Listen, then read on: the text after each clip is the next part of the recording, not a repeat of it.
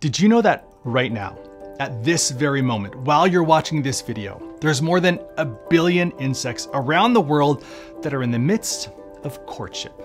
Not looking for food, not looking for shelter, not laying eggs, not escaping a predator, just engaging in behaviors geared at enticing or encouraging another individual to mate with them.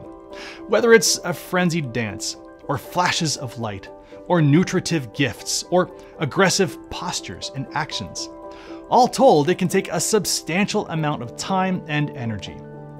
But why even go to such lengths?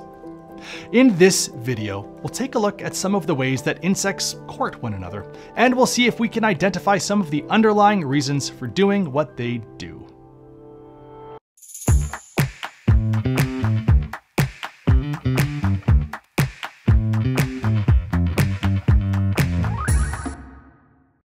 In our last video, we looked at various strategies that insects use to find each other for the purposes of mating. Behaviors like swarming, territorial defense, or pheromone signals. But once they do find each other, it doesn't necessarily mean that they're guaranteed to mate. Insects employ a wide range of sometimes elaborate rituals to decide whether or not to proceed.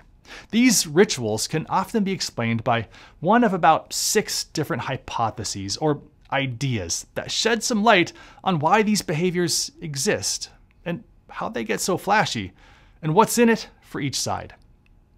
First, let's start with the mate recognition hypothesis. At the most basic level, courtship can help ensure that the insect you've got eyes for is actually a member of your species. Mating with an insect of a different species almost never goes well. So courtship signals, whether flashes of light or distinct color patterns, can serve as a built-in compatibility check. You can imagine how beneficial this is. Once a species evolves a clear-cut specific courtship trait, it gains a huge advantage over those lacking such precision. Fewer mating attempts are wasted on mismatched partners. This streamlines reproduction. And over generations, natural selection can hone these signals even further, reinforcing their role as adaptive strategies that maximize reproductive success. Fireflies give us a wonderful example of this. When males are ready to mate, they glide into open areas where they can be easily seen and they emit pulses of light. But depending on where you live, there might be many different species of firefly hanging about. So just a flash of light might not be enough to signal to another firefly which species you are. As a result, each species has developed their own flash pattern. So males of Photinus pyralis, the common eastern firefly, they flash in a J-shaped flight path. They'll use a single quick pulse, lasting about half a second, followed by a few seconds of dark before repeating. Conversely, you have Photinus marginalis, the little gray firefly. It flies close to the ground and in a relatively straight flight path. They flash for about a third of a second, and they repeat it at faster intervals compared to the common eastern firefly. The females of each species also have species-specific responses. This same idea applies to many chirping insects, like field crickets, where pulse rates and noise frequency differs between species. So this most fundamental need, simply finding a mate of the right species, has been a powerful driver of courtship behaviors. Next, we have the sensory exploitation hypothesis. Not all courtship behaviors initially arose strictly due to the needs of mating. In some species, it seems that males have been able to hijack a female's pre-existing sensory preferences. Preferences that arose for other purposes, like detecting food color or prey vibrations. Because the female's nervous system is already primed to notice those specific cues, a male that can tap into them can gain an automatic advantage. Even if the ability to tap into those cues has no direct link to male physical prowess or reproductive quality. Over time, this initial advantage can get refined into a more polished courtship ritual. Water mites of the genus Neumania are a fun example of this. Female water mites often lie in wait for their prey, trying to detect their approach by the tiny ripples that the prey give off. Males exploit this feeding reflex by creating their own little water ripples that mimic prey movement. A female, interested in what she thinks is approaching prey, will then orient herself towards the vibrations. Only after she advances like that does the male shift to make an unmistakably mating oriented signal. If she's receptive, then the courtship continues. So here, an unrelated sensory filter, namely the female's prey detection system, ends up becoming an integral part of the courtship ritual. Next, we have the good genes hypothesis. Sometimes a courtship display is all about honesty. Can this mate truly handle the metabolic cost of producing vibrant coloration, or a loud call, or performing a complicated ritualistic dance? If a trait is metabolically or ecologically expensive, then it becomes an honest signal of overall genetic quality, because only the healthiest and most robust of mates can afford it. If the showiest mate is indeed the strongest and most disease resistant, or best able to find and consume food, then by choosing them, a female, for example, would benefit her eventual offspring. Rhinoceros beetles are a poster child example here. Males wield massive horns for battles over mates. These are structures so large and resource intensive that they can even hinder mobility in some circumstances. Yet, studies show that females strongly prefer males with the biggest and most elaborate of horns. So this handicap trait isn't simply eye-catching, it's actually an authentic indicator that the male's genetic makeup is robust enough to handle the costs associated with such an extravagant feature. That, in a nutshell, is the good genes hypothesis. But things aren't always so straightforward. Not all courtship signals arise through mutual cooperation and shared goals. You see, male reproductive fitness is often tied to the number of mating attempts they have. Remember, sperm is metabolically cheap to produce, so there isn't a lot of cost associated with trying to mate as often as possible but it's often a different calculus for the females. Eggs are more metabolically expensive to produce, and a female may only need to mate with one male to fertilize all of her eggs. So there's an advantage for the female to be really, really choosy.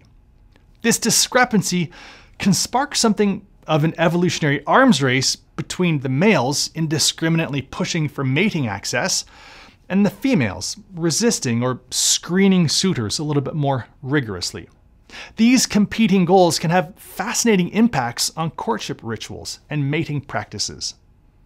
In bedbugs, for example, female physiology has developed in such a way that makes conventional mating nearly impossible.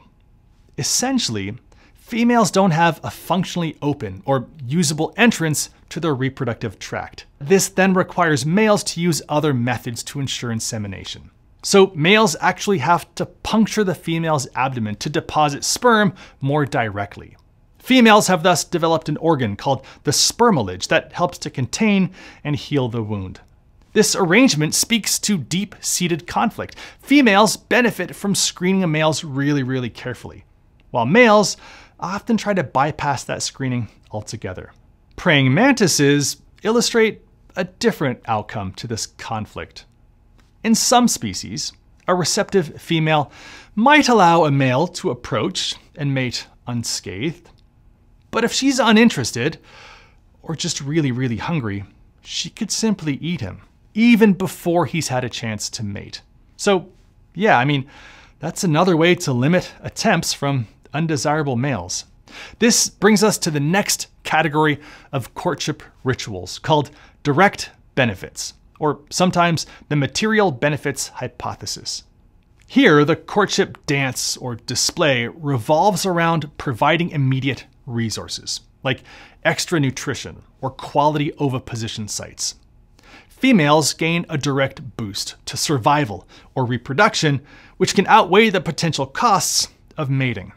This approach transforms courtship into a demonstration of tangible payoff. So you have male hanging flies that capture prey items to offer to prospective mates.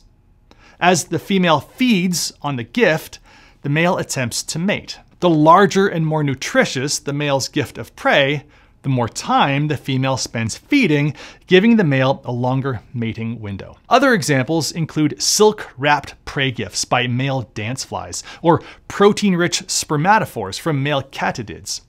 Here's the key in these courtship gifts they provide immediate, tangible benefit to the female while simultaneously boosting the male's chances of success in mating. Finally, we get to a circumstance that can lead to mating rituals spiraling out of control called runaway selection. Runaway selection happens when the genes for a certain trait and the genes for preferring that trait become really tightly linked, reinforcing one another across generations. Because each generation inherits both the exaggerated feature and the preference for it, it can create an ever intensifying cycle. A prime illustration of this comes from stalk eyed flies. Females in these species may have initially found broader eye stalks appealing, perhaps because they signaled a degree of male fitness or simply exploited a visual bias. As they mated with wide eyed males, their offspring included sons with even longer eye stalks, and daughters who further reinforced that particular preference. In the mid 90s, there were some lab experiments, and they found that when you selectively breed males for particularly elongated eye stalks, female preference evolves in tandem, completely irrespective of whether or not the eye stalks are associated with extra advantages like better immune function or better resource gathering ability. Over multiple generations, stalks can become disproportionately large and arguably detrimental to other aspects of life, like the ability to escape from predators.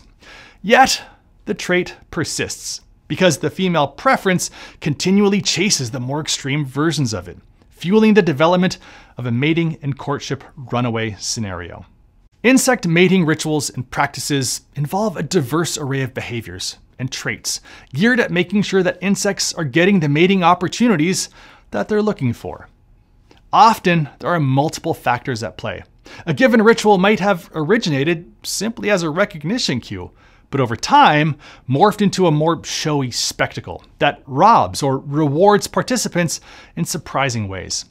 It's a core part of the history of insect morphological and behavioral change, and illustrates some of the forces that have shaped various insect species into what they are today. Well, that's enough for now. Thanks for tuning in. I'll see you next time.